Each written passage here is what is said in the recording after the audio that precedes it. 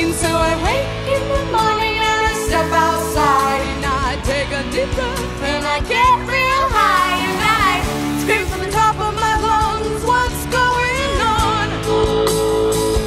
And I say, hey, hey, hey, hey, hey.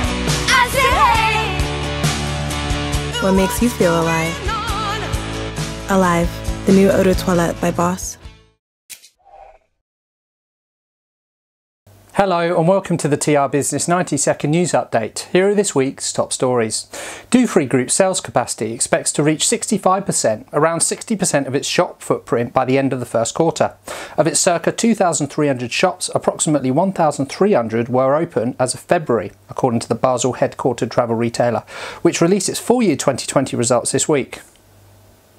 The Middle East and Africa Duty Free Association is to outline its proposals for the recovery of the industry in the region during an advocacy working group webinar on the 29th of March. The hour long session will be dedicated to the recovery of duty free and travel retail in the Middle East and Africa and advocacy efforts in the regions. ICAO, in collaboration with ACI and IATA, this week showcased the extraordinary contributions and achievements of women in the aviation sector over the past 12 months to mark International Women's Day.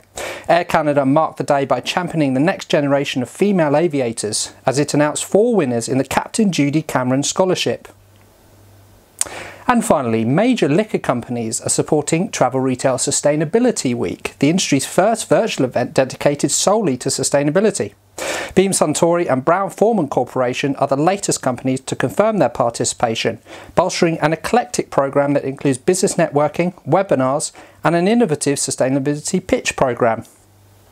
That's all for this week. Thank you for watching the 90 second update and see you again soon.